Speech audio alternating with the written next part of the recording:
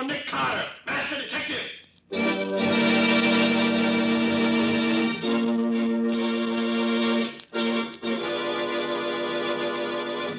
Yes, it's another case for that most famous of all manhunters, the detective whose ability at solving crime is unequaled in the history of detective fiction.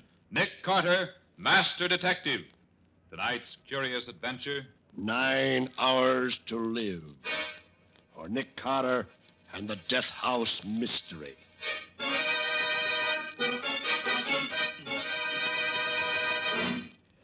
Now, a late news bulletin.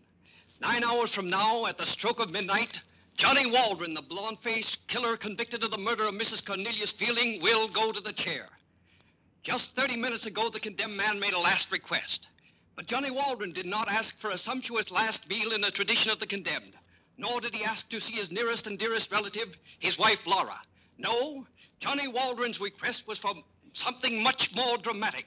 He has to see the great detective, Nick Carter. Now, just what this last minute conference means is anybody's guess. Perhaps a reprieve for Waldron. Perhaps a clue as to what happened to the Fielding jewels, which up to now have not even been found. At any rate, the master detective, Nick Carter, has consented to talk with Waldron and is probably at this very moment entering Death House Row. Keep tuned to this station for further dramatic developments.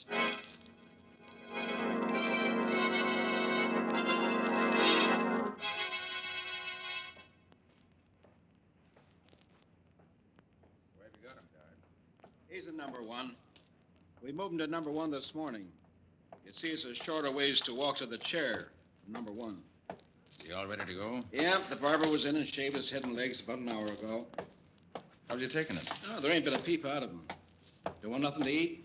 Don't want a chaplain. Nothing at all. The only request he's made is to see you. Funny time to ask to see a detective, huh?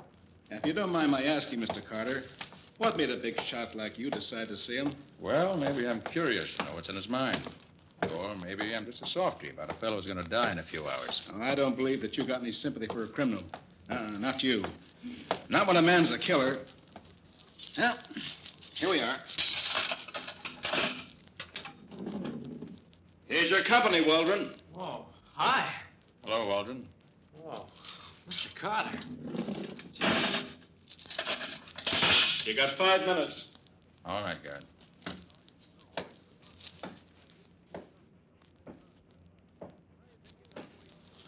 Well, Johnny? Oh, so you did come. Gosh, I was afraid you wouldn't. Well, I must admit I was surprised when the warden called me and said you wanted to see me. Yeah, I, I imagine you were.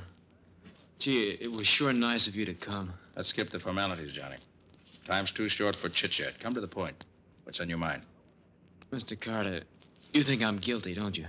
Well, didn't follow your case too closely. But you had a fair trial. You were found guilty.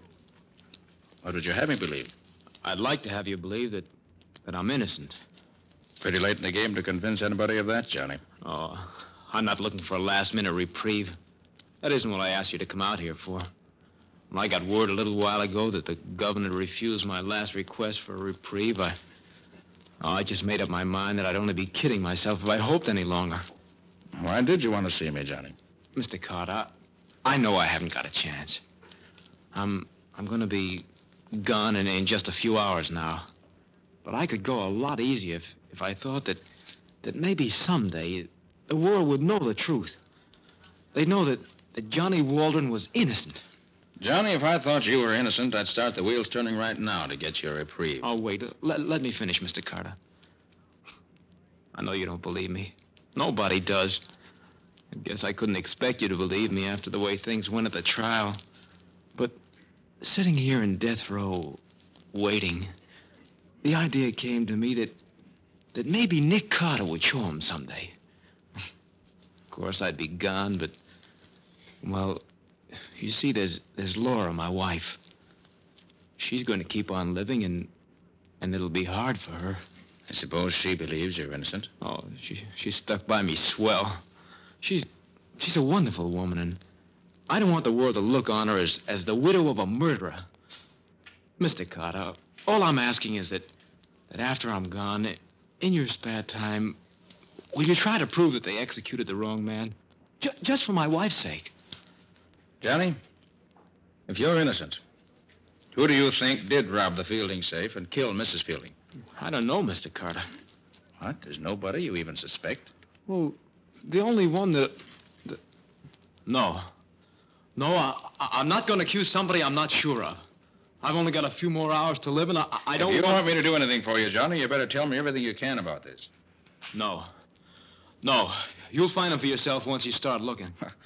Well, I've got to have some kind of evidence to go on. It. I don't have any. Cards were stacked so well against me, but go see Laura. She's never stopped working for me. Maybe she knows more by now. Look here. If that's the case, why haven't you had a lawyer working for you right up to the last minute? Uh, lawyers. I never had that kind of dough. Oh, a couple of shysters came around thinking maybe I had the Fielding jewels tucked away someplace. When they found out they weren't going to get a cut, they faded pretty fast. Even if you decide to do anything for me, Mr. Carter, I, I wouldn't be able to pay you for your trouble. You, you'd have to do it just, just as a favor to a dying man. You don't know where the jewels are? Why, no, Mr. Carter. How could I know? I didn't do that job. Look, you you go see Laura. She'll tell you whatever she can. All right. Time's up, Mr. Carter. All right, Garrett. Well, Johnny, I'll look into your case. I I don't suppose you believe me. I bet he's been telling you an innocent man is being sent to the chair, huh? He tells that to everybody. Did it ever occur to you, guard, that he might be telling the truth? No. Why? so long, no. Johnny. Good luck. Oh, thanks for coming, Mr. Carter. And, and and thanks for whatever you can do for me, sir. I'd very much like to know what happened to those Fielding jewels. Huh? Oh, oh, oh, oh, yes. Well, maybe they'll turn up while you're investigating. Think so? I wonder. Say, guard, uh, how, how long is it until I... Eight hours, Johnny. Just eight hours more.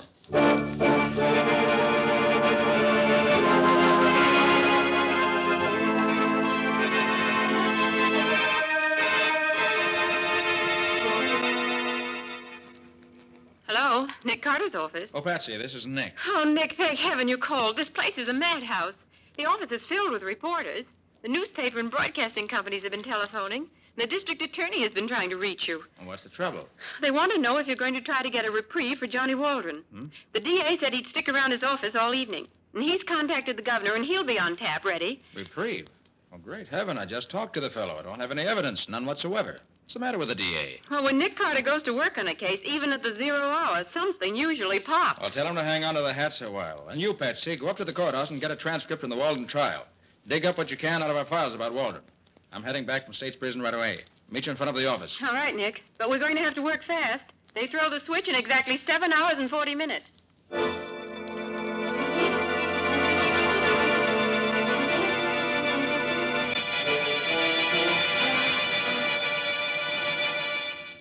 Waldron was really hired as a chauffeur.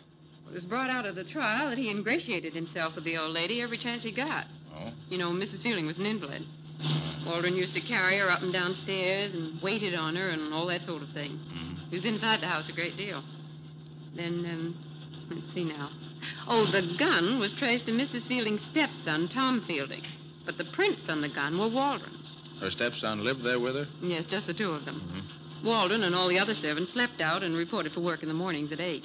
When was the body found? On a Thursday night at 10 o'clock, in the library of the house. Tom Fielding came home from his club and found her. The safe was open and the jewels and money gone. Of course, any of the servants, as well as Tom Fielding, might have known the combination of the safe. Mrs. Fielding often opened it in front of all of them. The defense harped on that at the trial, but Waldron's prints on the gun and his alibi being so flimsy cooked his goose. I see. See. How did Waldron strike you, Nick? Guilty? It's the evidence that tells the tale in any case, Patsy. If we could find the party who has the missing Fielding jewels. It would look pretty grim for that party. Yes, it wouldn't look good, that's sure. Oh, Nick, look at the time. Ah, 550. In six hours and ten minutes, an innocent man may be electrocuted. Oh, no, Patsy. No innocent man will be electrocuted for a crime he didn't do. Well, my name's Nick Carter. And here's our first stop, Patsy. His old tenement house. Laura Waldron lives here.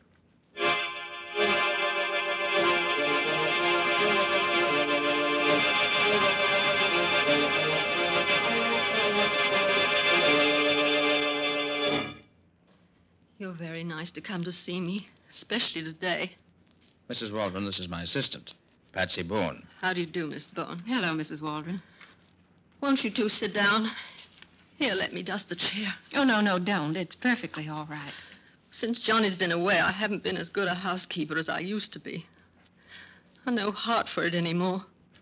Mrs. Waldron, I came to see you because. I know you went to see my husband. I heard on the radio. Yes, that's right. But it's too late to get Johnny off, isn't it?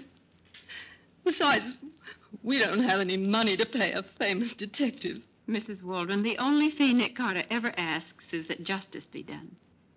Now, Mrs. Waldron, tell me about Johnny. His habits, what he likes, what he doesn't like. Johnny's good, Mr. Carter.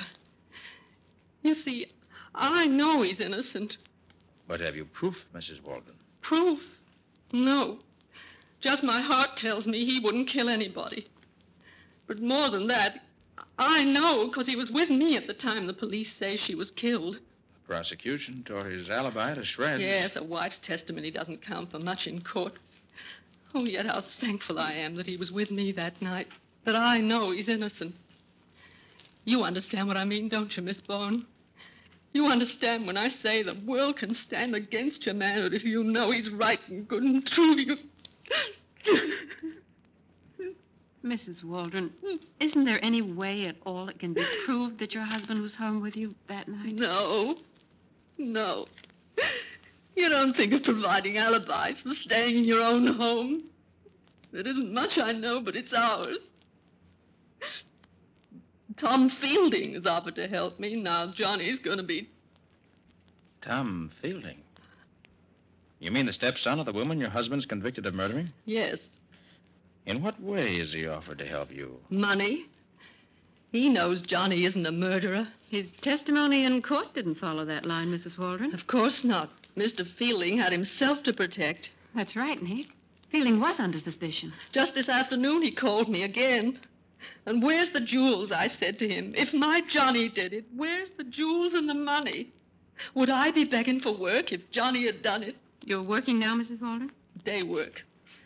Scrubbing up places where they don't ask too many questions. Oh, but I'd mop the streets of this town from one end to the other every day. Johnny didn't have to die. Oh, don't, Mrs. Waldron. Don't cry, please. Please don't cry. You have to excuse me. Just that I can't stand to think. I, I'm counting the minutes and seconds now. Only a few more hours. Johnny will be gone. Mrs. Waldron, I'd like to ask you another question. All right. Maybe Nick can save your husband yet, you know. Oh, if he only could. There isn't time left for me to chase down every witness and question them. Tell me, Mrs. Waldron, whom do you suspect of robbing and murdering your husband's late employer? Who? Oh, Mr. Carter, I have no proof against anyone. I didn't ask if you knew who murdered Mrs. Fielding. I only said, whom do you suspect? But I have no right to suspect him. Right? What do you mean? He's been so kind and offered to help. Tom Fielding. That's who you think did it. Oh, I never dared think it out loud before. He was her stepson, you know, but she loved him like her own. Oh, they had their quarrels, but oh, they were just money spats. I'm not saying he did it, only Only what? you talk to him, Mr. Carter. All right, I will. We'll go right over to the Fielding house now. Oh, but you won't find him at home at this hour, Mr. Carter. He's always at the club at this time. I know from when Johnny used to drive for him. That's the old hunt club, isn't it? Yes. Tenth and fifth. mhm. Come on, Patsy. Let's hurry. Time's precious. Okay. Goodbye, and thank you.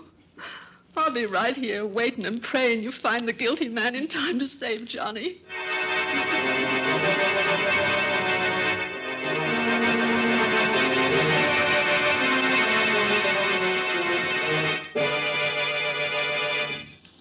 Nick, there's something puzzling you. What is it? Didn't you think Mrs. Waldron's story made sense? Well, it did, and it didn't. But, Nick, doesn't it seem a bit odd for Tom Fielding to offer her money? Yes, if that's true. Well, then her story does make sense. Patsy, it's not what Mrs. Waldron said that's bothering me. Something else. Something else. Well, what is it, Nick? I wish I knew. But there's something about her that puzzles me. Something that doesn't fit into the picture. It's in the back of my mind somewhere, but I can't quite get the key to it. If you ask me, Tom Fielding is the one who could straighten out a lot of things. And he's the man we're going to tackle right now. Well, this hunt club's pretty swanky, isn't it? Good evening, sir. Can I park your car for you? Fancy place. Still has doormen and porters. Oh, I beg your pardon, miss. Uh, ladies aren't permitted in the old hunt club. I'm sorry. Well, that lets you out, Patsy. I guess it does. You better wait for me here. Yes, I guess I'll have to. Oh, Nick, Hmm? it's 8.15. Only three hours and 45 minutes to go until midnight.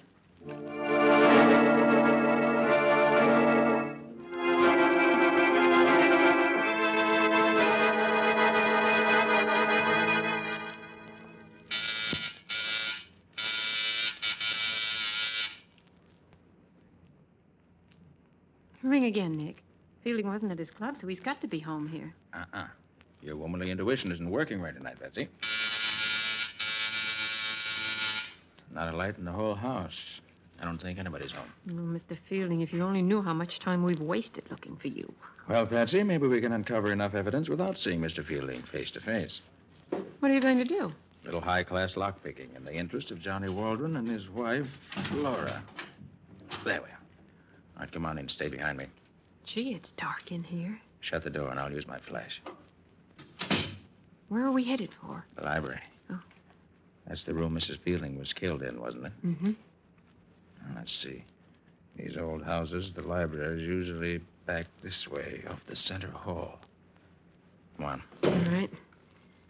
You think there's anybody beside us in the house? I hope not. Ah, here we are. This is the door. This must be it. Mm-hmm. Yeah. This is the library. What are we looking for? Well, right now, I'm looking for Mrs. Fielding's safe. Safe? Mm-hmm. Safe. Oh, oh, it, it's behind that portrait of her. That was Oh. in the testimony. Yeah, you're right. Thanks, Betsy. Oh, turn on that small lamp, will you? Take a glance at the papers on the desk while I open this safe. Say. Mrs. Fielding held her son and heir down while she was living. He's certainly making up for it now. Look at that wine cabinet. It's filled to the hilt with pre-war stuff. Oh, and look at this black market stuff. Have a gold-tipped cigarette, Miss Bowen. Yes, thank you. I will. Patsy, shame on you. How'd you feel if Tom Fielding walked in here right now and caught you swiping his expensive cigarettes? Only one, Nick. And for that matter, how would you feel if Mr. Fielding saw you about to open his safe? You okay? Yes, I, I guess so. They shot through that window there. And the bullet went right in the side of the desk here. We better get out of here, Nick. Now, one minute, Patsy. Gotta see what's in this safe. It's almost open now. Well, who do you think shot at us? Mr. Fielding?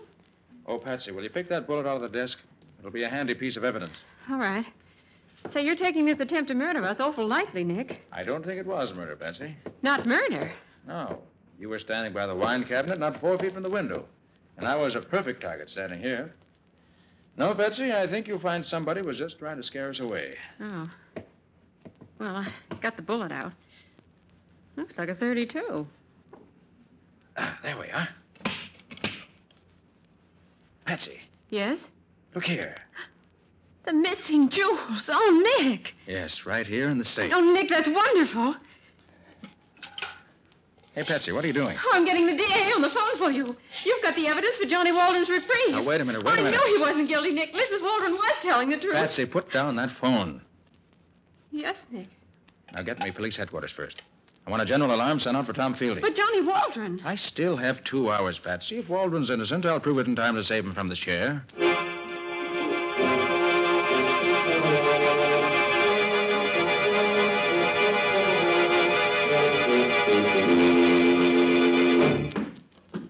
Nick, why should you want to talk to Mrs. Waldron again when you haven't asked for the reprieve? Only make her feel worse. There's something about her that doesn't add up, Patsy. And I've got to know what it is before I go any further. This is her door, isn't it? Mm-hmm. Nick Carter, your thinking on this case is beyond me. Well, Patsy, it's hard to explain. When I don't know myself what the missing link is, how can I explain it to you? But you found the jewels. Tom Fielding had them in his safe. Why, it's obvious, Nick. He didn't get along with his stepmother, and he. Nick, what are you doing? Want to open Mrs. Waldron's door? Oh, no, don't do that, Nick. I'm sure she's here. She's, she's probably been crying and doesn't want to see anybody. Let me call her first. Mrs. Waldron? Mrs. Waldron? Oh, sorry, Patsy. We haven't any time to waste. Now, let's see. Where's the light switch? It's here by the door. Oh, she isn't here. So it seems. Nick. Hmm? Look here. There's a gold tipped cigarette in this ashtray, the same kind we saw at Fielding's house. Let's have it. Hmm, no lipstick on it. Kind of pinched in near at the end. He's been here. I never would have believed it of him. Believe what? What that a man like Fielding would come to a place like this? Why, a man like that wouldn't get his hands dirty putting them on the doorknob of a hovel like this. Say that again, Patsy. What? Well, a man like Fielding wouldn't dirty his hands on the doorknob of a place like. I got it. Patsy, you just gave me the key I've been looking for. Come on. We've got to get back to Fielding's library or there'll be another murder.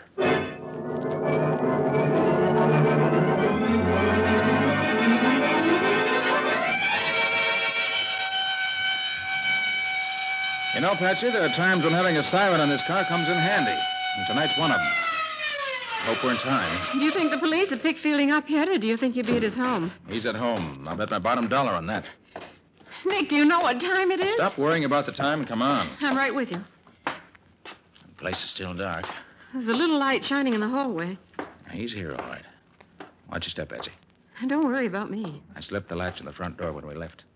Let's see if it's been bolted. Nope, still open. All right, come on. Where do you think he is? The library, probably. Oh, I hear someone, Nick. Yeah, they're both here. Oh, that's Mrs. Waldron's voice. Open the door, Nick. No, it's locked. We'll try to pick it. Oh, Nick, hurry. I am hurrying. Stay away from me. Help! Help! He's killed her. There. Oh, Mrs. Waldron. Oh, thank heaven you came. He was just going to shoot me. I got the gun away from him and. Oh, You shot him. Yes, Mr. Carter. But it was self defense. Anyone can see that. Oh, I'm so sorry for you, Mrs. Waldron. It was worth it. It was worth it. Now Johnny will be safe. He won't have to die in the chair. Nick, you've only got seven minutes to call it. Seven minutes to twelve. Hurry, Mr. Carter. Just a minute. Calm yourself, Mrs. Waldron. Here, have a cigarette. A cigarette? All right. I- May I light it for you? Thanks. Wait a minute till I get my cigarette holder out of my bag. So, you do use a cigarette holder. I thought so. Nick, the time is getting awfully short for your call to the DA. I'm not going to make that call.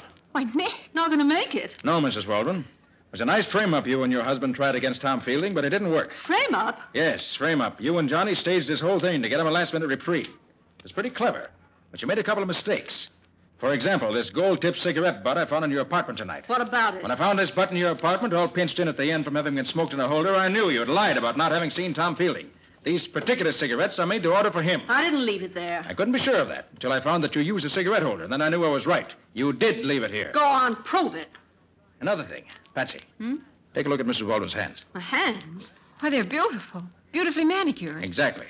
Mrs. Waldron, with hands like yours, you don't scrub floors for a living. That dingy apartment of yours is merely a front. Look out, Nick. Gun. huh? Yes, and I know how to use this gun, too, and I'm going to.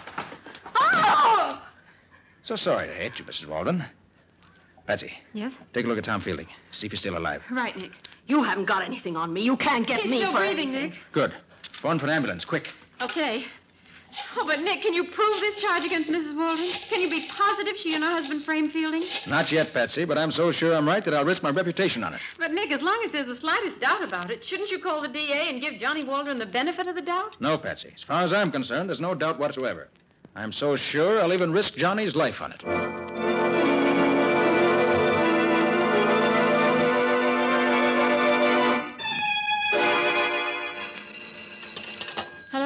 Nick Carter's office. Oh, yes, Lieutenant. Yes? Yes? It was. He is. I see. Well, thank you, Lieutenant. Yes, I'll tell Nick. Goodbye. Was that the report from police headquarters, Patsy? Yes, it was Lieutenant Riley. And you were right, Nick. That gun you took from Mrs. Waldron was registered in Johnny's name. And she lied about taking the gun away from Fielding and shooting him in self defense. Fielding's fingerprints weren't on the gun anywhere, but hers were all over it. Did they check with the bullet wound you picked out of that desk? The one that was fired at us? Yes, and it came from the same gun. Fine. And what about Fielding? Did Riley say? He's going to live. What's more, he regained consciousness long enough to make a statement. Good. Oh, Nick, that Mrs. Waldron was certainly clever. She was planting the jewels in Fielding's safe when he came in the room and caught her. So she. She held him at the point of her gun and knocked him out, bound his wrists and ankles, gagged him, and hid him away in another room. What? How did you know that? Very simple, Betsy. The marks he'd been tied were still on his wrists when I examined him, and oh. also Oh. there was a bump on his head. Nick, you're always holding out on me. And one other thing. What made you think Fielding's life would be in danger way back when we were in Mrs. Waldron's apartment the second time? Curious, huh?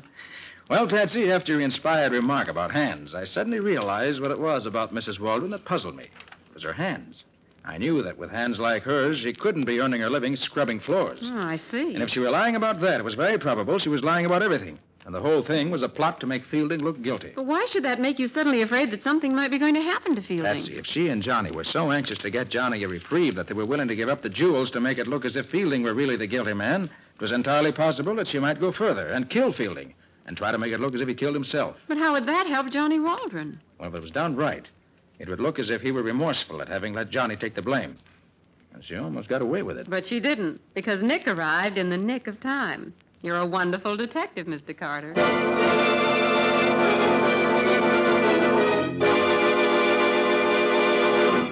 And so, ladies and gentlemen, at midnight last night, Johnny Waldron went to the electric chair to pay for the crime of having murdered Mrs. Cornelius Fielding. His dramatic last minute attempt to get a reprieve failed, thanks to the quick action of that master detective, Nick Carter. In those few short hours that Carter was actually on the case, he found the missing jewels, uncovered a well laid plot between Johnny and his wife to pin the murder on Tom Fielding and save Fielding's life. Tom Fielding and the entire community owe a debt of gratitude to Nick Carter.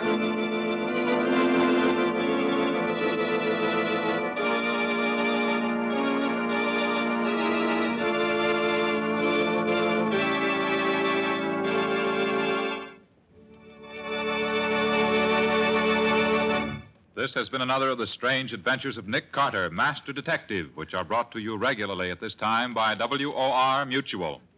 Well, Nick, what happens in your next week's story? Well, I want to tell you the story of the time that I quite accidentally stumbled onto a terrible crime. Or to be more correct, I stumbled onto evidence that a terrible crime had been committed. That doesn't sound like a very unusual thing for you to do. Except for one little fact, Mr. Ripley. We didn't know where or when the crime had been committed. In spite of the fact that we heard the story of the murder from the victim's own lips. As a matter of fact, we even heard the murder committed. And we were powerless to do anything about it. If you're trying to make me curious about it, We are. you're certainly succeeding. Well, it's as unusual a tale as I've had the pleasure of telling in a long while, I assure you.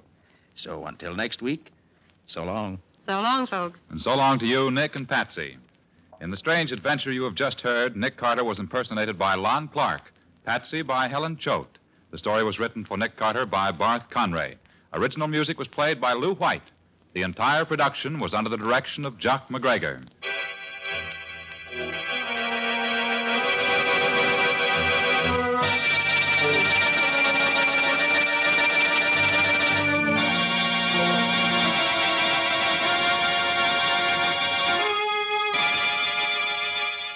Next week, at this same time, listen to another curious experience of Nick Carter entitled Records of Death. Or Nick Carter and the Mystery of the Unclaimed Box.